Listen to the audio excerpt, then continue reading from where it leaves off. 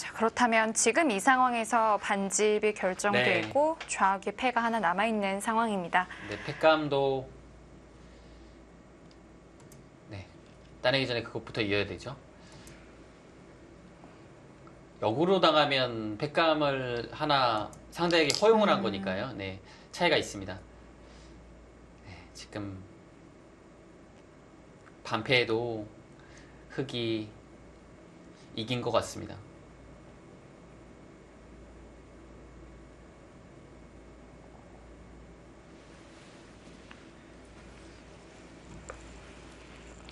여기가 이제 팩감이 두 팩감 나오고요. 여기 먹여치고 아, 여기서 이제 팩감이 세 개네요. 그럼 팩감이 다섯 개죠. 네. 흑은 여기 한 팩감, 두 팩감, 여기서 이제 두 팩감, 세 팩감 나오고요. 팩감이 네 개, 다섯 개, 여섯 개는 확보되어 있거든요. 네. 양, 양보합니다.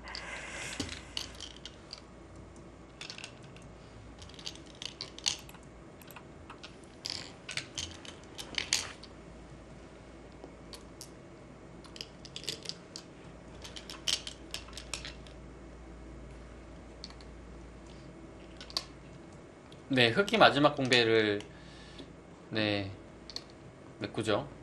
한 집 반이 맞겠네요. 네, 여덟 집이 짝수 승배입니다. 아, 리에이칭 6단도 개가가 안 되나요?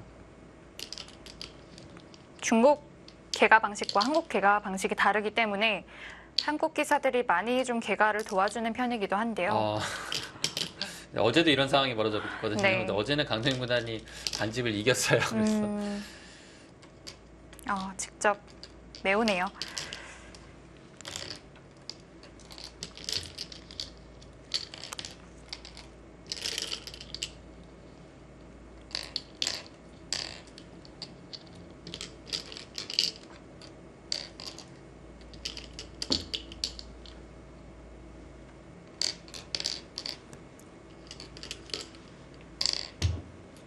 흑은 예, 58집인가요? 네.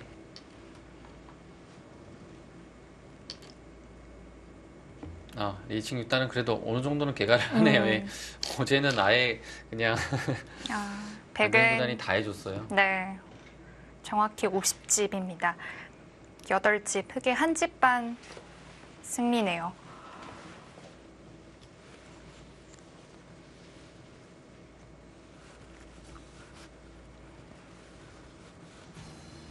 네, 흑의 반면 8집 한 집 반승을 거둡니다.